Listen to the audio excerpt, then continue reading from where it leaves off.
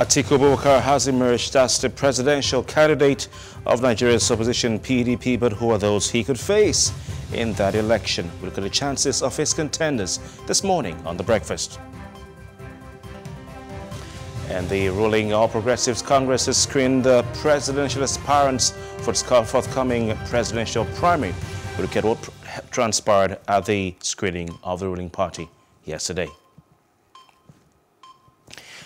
And we have analysis uh, from today's headlines of the pages of today's national dailies and of the press. This and more head on the breakfast this morning.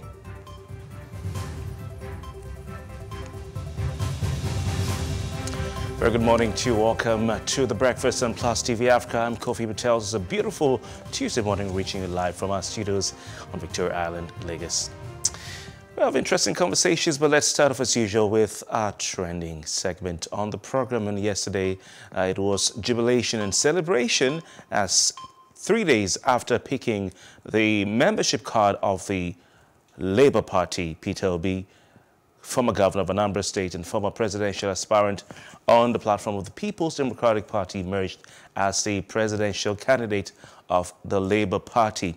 Interesting scenes right there in Delta State where the presidential primary of the Labour Party held. Um, the contenders for that ticket uh, of the party stepped down. They all stepped down for Peter Obi, who rode triumphantly like Jesus Christ into Jerusalem. Uh, he rode triumphantly um, to pick the ticket of Labour Party. Let's go down to Delta State and to the venue of uh, the presidential primary of Labour Party and let's listen uh, to what Peter Obi had to say after he was declared the presidential candidate of Labour Party. We need to rebuild here. We need to give the future generation a hope in this country. A country that is so endured with human and natural resources that have been mismanaged over the years needs a turnaround. And that is the work we've just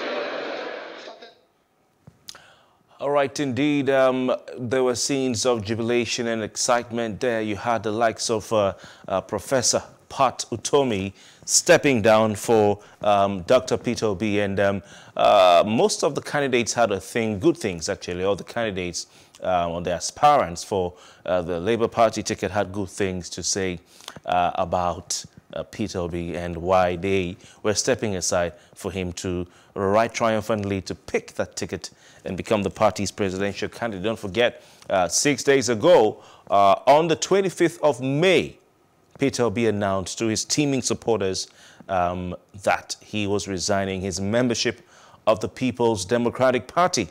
Uh, what are people saying about this? Some uh, have expressed uh, happiness that Peter Obi has finally clinched a presidential ticket. And they're saying they're moving to the Labour Party. I can imagine the Labour Party's uh, um, followership online, in particular on Twitter, where it seems a lot of the conversation is going on, uh, has increased and will continue increasing. In fact, they've given themselves a name, Peter Obi FC. However, the presidential candidate now uh, of the Labour Party had to caution his supporters on Twitter yesterday to um, take it easy and to be, have some decorum in their conversations and in their campaigning for him on the social media application and on, on across social media sites. And um, uh, he said that it had come to his attention that some of his supporters had been uh, attacking and uh, uh you know other candidates, and he didn't like that. Uh, quite interesting. Um, the the um, the presidential primary had a lot of intrigues and, um, you know, had a big media attention. It was sort of a, a, a celebration of sorts because it was quite clear that this was going to happen at the end uh, of the day. Uh, you had some talk a, few weeks ago about, about uh, three to four weeks ago about a certain um, mega party being uh, created uh, to be the third force in Nigeria's election. And the Labour Party was touted as being the party of choice or the consensus party to fly the flag of this third force coalition in the 2023 elections. It remains to be seen how this will go. If that happens, that will be uh, quite um,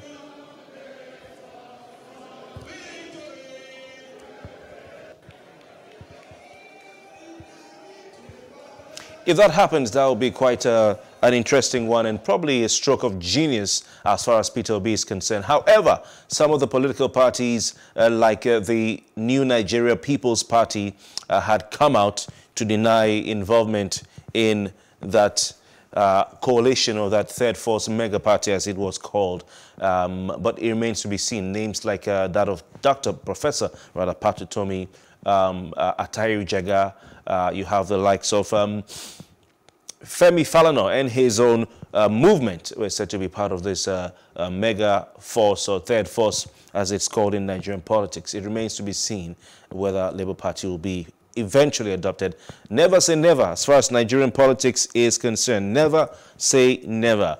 Will the other parties adopt Labour Party? Will they come together to form a third force in Nigeria's politics? Uh, what are the pros of the advantages for Peter Obi uh, on this on the ticket of this party? Well, Labour Party is aligned or, to the um, the labor movement in Nigeria. It's actually founded uh, on the labor movement in Nigeria, and uh, you have the Nigeria Labour Congress um, having chapters all across the country, across the states in the country. Workers belong to the Nigeria Labour Congress. It is a workers, Nigeria's own version of the Workers' Party. And I'm sure that if this is able to, you know, if this is able to be, if this can be carried out successfully and uh, Labour is able to take on the responsibility of campaigning uh, for this party, then it might just be a good day for Peter Obi at the polls in 2023. And the man spared no effort, you know, on Twitter in, in telling uh, his supporters why he decided to join Labour Party. And uh, one of the reasons that he gave was that the party was a workers' party. It looks after the welfare of workers, the working class, and all that. So if that can happen, we see the Nigeria Labour Congress, even the Trade Union Congress, um, pulling its weight or putting its weight behind Peter Obi and behind this party, then it might turn out successfully for the gentleman. But some people have said that um, a vote for Peter Obi is a wasted vote. Some have, also said that um, Labour Party does not have what it takes to give Peter Obi the ticket. They've talked about structure. I mean, the party has chapters in every state, uh, but some are saying this party won only uh, 5,074 votes in the 2019 general elections and asking, you know, why or how such a party should be relied on to um, to challenge the APC that produced more than 15 million votes uh, for President Buhari in 2019, or the PDP that produced uh, uh, over 11 million votes for Atiku Abubakar in 2019. Now, the Labour Party's vote of 5,074 uh, amounted to 0.022% of the votes cast in the presidential elections in 20 um, in 2019. 0.022% of votes cast in the presidential elections in 2019. That's quite minute. And I'm sure if you ask a lot of people, um, they will not remember who the candidates of Labour Party were in the 2019 general elections. And these are some things uh, people are pointing to. However, you have those who said that they are going to galvanize support, um, especially Twitter base, you know, and that they believe that Peter Obi can do um, what some people are saying he cannot do, which is claim, claim to presidential ticket. And they've said if you have all the young people, if you have all the people on Twitter, you know, coming out offline, going into the streets, going into the communities, and uh, uh, canvassing for votes for Peter Obi, he just might have a field day at the end of the day. So let's see how it goes right there with Labour Party and uh, uh, Dr. Peter Obi in the 2019 uh, general election. All right, uh, it's been quite a fallout from the People's Democratic Party presidential primary.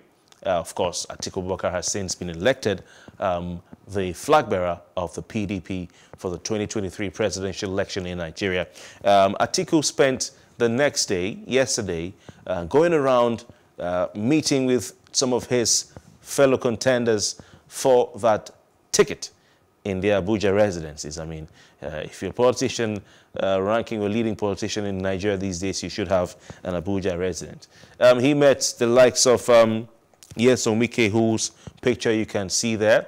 Um, and uh, had to come out to say some things. But a major statement that was made by Nyesom Wike uh, was a tweet he put out that he will support whoever emerges as uh, the candidate for the PDP. Indeed, that is Atiku Abubakar. He also, when he landed in Port Harcourt, uh, addressed his supporters, supporters of the People's Democratic Party in River State and Nyesom Wike, wow, you know, complaining about setting a gang up, you know, setting um, governors from the South who were unreliable and didn't keep to their word and all that, at the end of the day said that he's a PDP man through and through, that he was going to keep to his promise he made, or the promise he made at the presidential primary where he gave his speech. And in his speech, he said that he will support anyone who wins that primary election. So he reaffirmed that when he addressed his supporters uh, in Port Harcourt at the government house where he um, where they, they had a meeting and he said that he was going to work for the PDP. He said that he was going to support Atiku Abubakar. And he also went on out to put a tweet uh, where he said that he will support Atiku Abubakar and work for the PDP um, in the 2023 presidential election. Now, uh, Wike has always flaunted his credential as uh, being a true party man. Uh, he's uh, spared no effort in telling the delegates as he uh, traversed the country to seek for their support that he remained uh, has been in the party in the PDP since it was founded in 1998. He has never gone anywhere. Like he always says, not to go anywhere. Um, Atiku Abubakar himself has been to uh, the APC and back. Uh, the likes of Bukola Saraki have also been to the APC and back, but Wike has remained.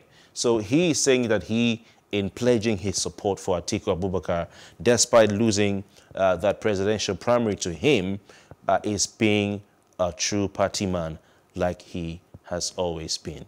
And indeed, um, the reaction has been quite favorable uh, for Nyesom Wike with supporters of Atiku Abubakar and supporters of the People's Democratic Party expressing their pleasure in the position that he has taken. Uh, Atiku spent time to also visit other contenders as well, trying to uh, unify the party. And one of his um, five agendas or five points agenda um, in his campaign has been unifying the country.